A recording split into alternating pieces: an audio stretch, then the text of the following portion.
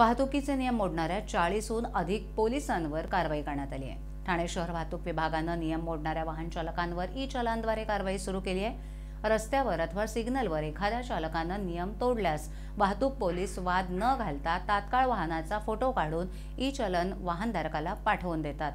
वाहनाच्या क्रमांकावरून वाहनधारकाचा छडा लावून हे ई चलन पाठवलं जातं.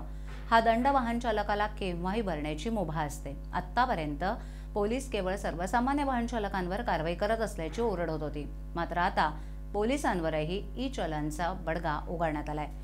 ठाणे पोलीस आयुक्तालयात कामकाजानिमित्त आलेल्या पोलिसांवर कारवाई करण्यात आली आहे. ठाणे नगर पोलीस ठाण्याचे पोलीस उपनिरीक्षक अशोक भाराते यांच्या पथकाद्वारे करण्यात आलेल्या या कारवाईमध्ये चाळीसहून अधिक पोलीस कचाट्यात सापडले.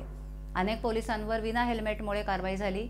गेल्या काही दिवसांमध्ये विना हेल्मेट वाहन चालकांवर कारवाई होत असून आता पोलिसांवरही हीच कारवाई होताना दिसते